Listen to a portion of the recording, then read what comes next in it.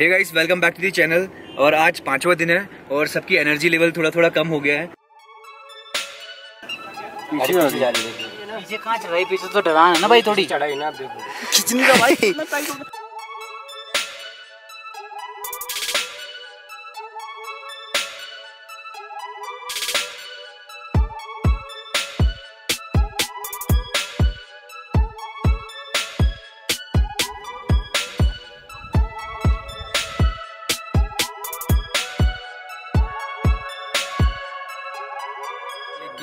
अगर आप लोगों को नुब्रा वैली और पेंगोंग लेक की वीडियोस देखनी है तो link will be in description. और आज हम लोग जा रहे हैं लेक की साइट सीनिंग करने के लिए। तो सील कैसा लग रहा है तुम्हें? आज मज़ा आएगा नहीं आएगा? आज बहुत मज़ा आने वाला है लेह के अंदर ही। कल तक तो हाई एटीट्यूड की वजह से। प्रॉब्लम एंड ऑल दैट बहुत ज़्यादा थी बट आज लेह में फिर भी थोड़ा ठीक लग रहा है। रिलैक्स है हाँ। तो आज काफ़ी मज़ा आने वाला है इस वीडियो में।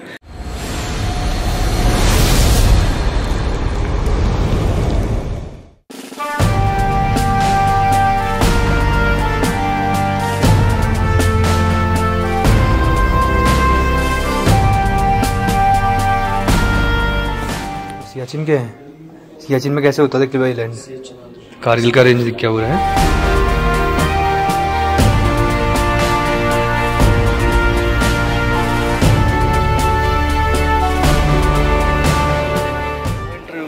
वॉर ऑफ़ फेम में बहुत अमेजिंग एक्सपीरियंस रहा। काफ़ी स्टोरी सुनने को मिली। जोश आ गया भाई, जोश आ आ गया। बिल्कुल। इंडियन आर्मी उसको अकेले को कवर करने के लिए आपको बहुत टाइम चाहिए। सीरियसली और इंडियन आर्मी हमारे लिए क्या क्या करती है आज? ऐसा दोबारा रियलाइज़ हुआ कि कितना टफ है उनका वहाँ पे सियाचिन बॉर्डर पे रहना यू नो और अभी शाम को एक यहाँ पे शो होता है तो हम लोग उसको देखने के लिए भी आएँगे। एक सेकंड तो अभी हम इसके बाद जा रहे हैं मैग्नेटिक हिल्स न्यूट्रल हो गई गाड़ी। न्यूट्रल हो गई? हाँ न्यूट्रल है गाड़ी न्यूट्रल है। हाँ। पीछे जा रही है। देखो। पीछे जा रही है? हाँ। बल्कि चढ़ाई है आगे। बल्कि चढ़ाई है पीछे की तरफ़। पीछे की तरफ़ देख रहे हो ना चढ़ाई है ना? पीछे कहाँ चढ़ाई पीछे तो डरान है ना भाई थोड़ी। चढ़ाई ना आप देखो। पीछे ये इस तरह ना ये वाला जो ये एरिया ना इस तरह इधर ये चढ़ाई इधर से इस तरफ़ है। पीछे देखो ना तो गाइस अभी हम लोग पहुँच गए मैग्नेटिक हिल्स। यहाँ पे बोला जाता है कि जो यहाँ पे रोड है वहाँ पे गाड़ियाँ चढ़ाई में अपने आप चढ़ने लगती है because of magnetic effect so guys ये बॉक्स बनाया हुआ है यहाँ पे रोड पे। बंद कर दी उन्होंने गाड़ी पूरी यार। तभी तो खिंच रही है वही तो मैग्नेट है। सो गाइस ये देखिए मैग्नेटिक हिल्स का कमाल। ट्रक जा रहा है अपने आप पीछे की तरफ़। खिंचने का भाई।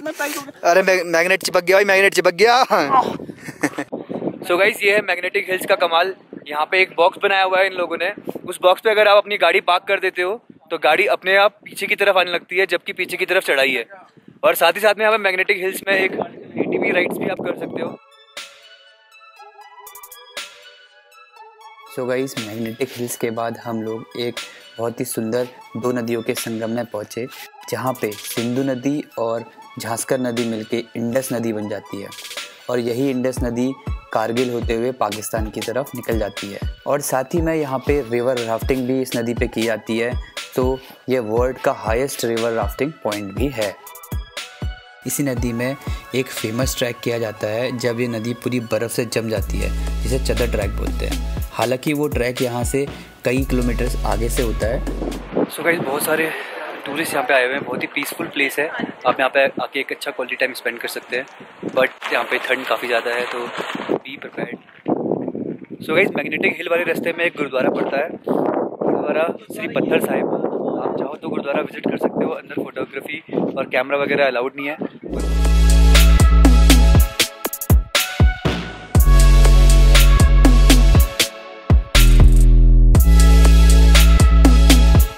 गाइज़ यहाँ पे जो ये गुरुद्वारा बना है, उसके पीछे कहानी है।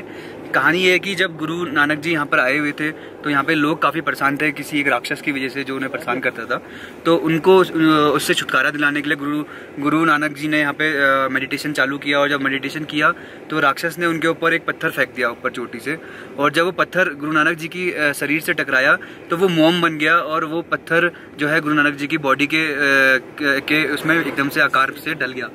तो और जब राक्षस ने वो देखा तो राक्षस से वो सहन नहीं हुआ। राक्षस ने गुस्से में आके उसके पत्थर के ऊपर पाँव रखा और उसे दबाने के लिए बट हुआ क्या कि उसका पाँव भी उस पत्थर के अंदर फंस गया। तो उसको राक्षस को पता लगा गुरु नानक जी भगवान के भेजे हुए एक अवतार है। तो ऐसे करके फिर वो राक्षस जो है एक सही राह में निकल गया। गुरुजी ने उसको उपदेश दिया और वो एक सही राह में निकल गया। तो ये काफ़ी अच्छी स्टोरी है और अंदर जाके एक अलग रोमा भी है। आप जाओगे तो काफ़ी अच्छा माहौल रहता है गुरुद्वारे के ऐसा। और अभी हम जा रहे हैं यहाँ से सीधे ले पैलेस।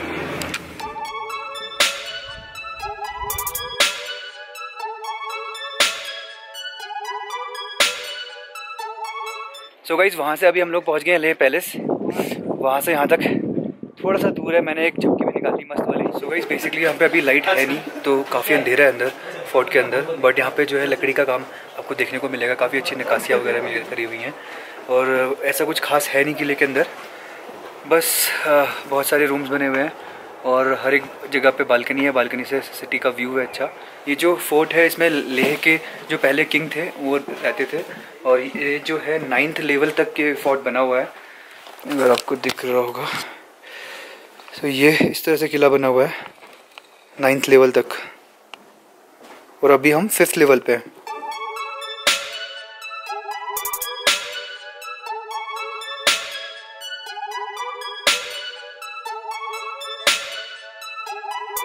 बेसिकली लाइट वगैरह पता नहीं क्यों उन्होंने बंद करी हुई है।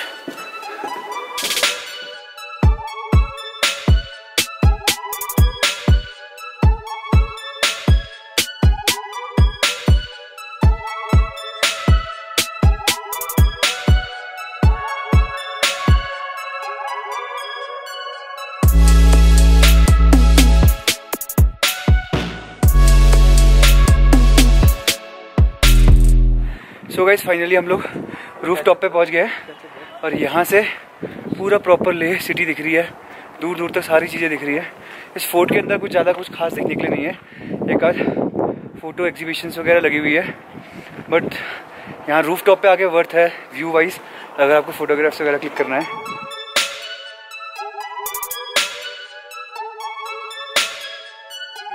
So guys as you can see just behind me ये है शांति स्तूपा। और यहाँ से आपको इसके ऊपर चढ़ने के लिए शूज़ वगैरह उतारने होते हैं और शूज़ उतार के आप इसके सर्कल में राउंड लगा सकते हो क्लॉकवाइज तो काफ़ी अच्छी जगह है और यहाँ से जो व्यू आ रहा है वो भी अल्टीमेट है।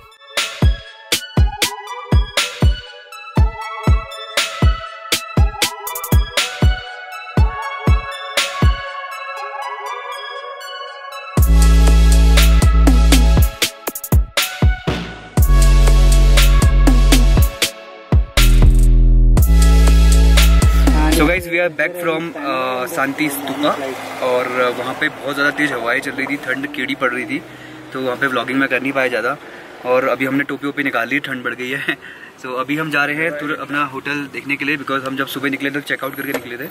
होटल पहुँच के सामान फेंकेंगे उसके बाद जाएँगे लोकल एक्सप्लोर uh, करने के लिए शॉप्स वगैरह देखते हैं क्या क्या चीज़ें खरीद सकते हैं यहाँ से। और मैं आप लोगों को दिखाऊँगा कि क्या क्या शॉपिंग आप यहाँ से कर सकते हो। और उसके बाद हम यहाँ से डिनर करके निकलेंगे कल डेली। इसके अलावा आप दो चीज़ें और यहाँ पे कर सकते हो लोकल साइट सीनिंग में। एक तो यहाँ की जो मोनेस्ट्रीज है वहाँ घूम सकते हो। और दूसरा एक यहाँ पे जो रेंचो स्कूल है ये स्कूल वही स्कूल है जो थ्री इडियट मूवीज़ में दिखाया गया है तो लोग उसे भी देखने जाते हैं। हालाँकि हम लोगों ने वो स्किप कर दिया है बिकॉज़ टाइम भी बहुत ज़्यादा हो गया ठंड भी बढ़ गई है। और प्लस वो एक बहुत ही अलग रूट में पड़ता है और उसके लिए आ, हमारे जो कप्तान साहब है ड्राइवर साहब है वो बोल रहे हैं कि एक दिन और एक्स्ट्रा लग जाएगा और कल हमारी फ़्लाइट है। तो अगर आप चाहो तो आप वहाँ जा सकते हो और you can plan accordingly so guys यहाँ पर एक तिब्बतन मार्केट है, जहाँ से आप अपने फ्रेंड्स के लिए सुवीरियर ले सकते हैं। काफ़ी रीजनेबल प्राइस में आपको मिल जाएँगे। बहुत सारे आइटम्स अवेलेबल हैं यहाँ पे।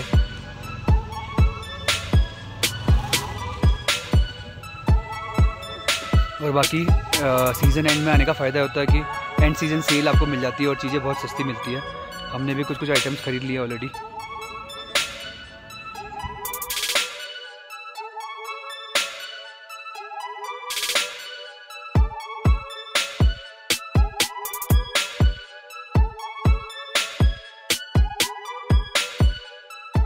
ये एयरपोर्ट के रास्ते में एक रेस्टोरेंट पड़ता है न्यू सालीमार रेस्टोरेंट वहाँ पे हम नमकीन चाय पी रहे हैं जो कि यहाँ की फ़ेमस चाय है। अगर आप लद्दाख आते हो तो आपको ज़रूर ये पीनी चाहिए लेह में जब भी आते हो। नमकीन चाय के साथ ब्रेड क्या था इसका नाम? बटर रोटी। बटर रोटी।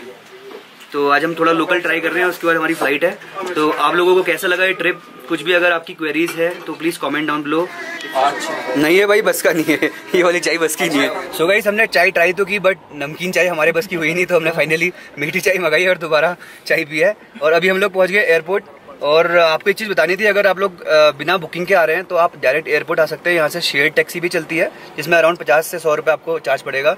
अगर आपको पूरी टैक्सी बुक करानी है तो आठ सौ, नौ सौ करीब ना। आठ सौ नौ सौ करीब आठ सौ नौ सौ करीब में आप पूरी टैक्सी बुक कर सकते हैं। और इसी के साथ इस वीडियो को यहाँ पे एंड करते हैं इस ट्रिप को यहाँ पे एंड करते हैं। सो गाइस अगर आप लोगों को वीडियो पसंद आई तो वीडियो को लाइक करना ना भूलें। अगर आप इस चैनल में नए हैं तो चैनल को सब्सक्राइब करना ना भूलें। और अगर इस वीडियो या फिर इस ट्रिप से रिलेटेड कुछ भी क्वेरीज या सजेशंस हैं please comment down below thank you so much for watching see you soon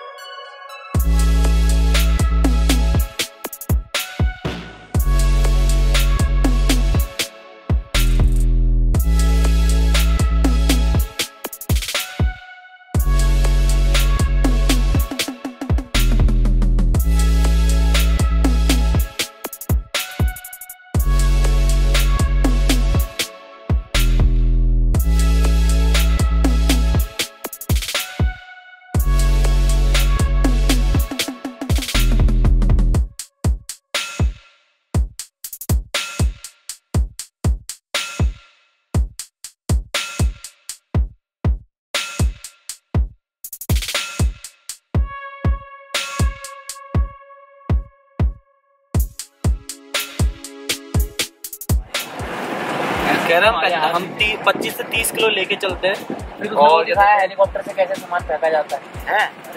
even की तुझे पता है उसने कहा हमारी पोस्टिंग जब होती है उन्होंने पठानकोट में भी दी थी। काम बालों में तेल परफ्यूम कुछ नहीं लगा देगी कहीं भी खुशबू आ जाए। है। तुरंत इवन की कोई पत्ता भी गिरता है तो भी गोली चला देते हैं पठानकोट में। कहा तो पठानकोट रोज फायरिंग होती है। डेली पाकिस्तान है ना तो फायरिंग होती है। और सियाचिन में नहीं होती? सियाचिन में हाँ। कोई गोली नहीं चलती। सियाचिन में बस 2003 से भी चली गई बॉर्डर थोड़ा। सटता ना पाकिस्तान। ये नहीं है ननद भाभी कोई। नहीं वो उसी का बताना अलग ऐसी ऐसी एक संगम वहाँ भी है। रुद्रप्रयाग है ना वो? पक्का? कर्णक नहीं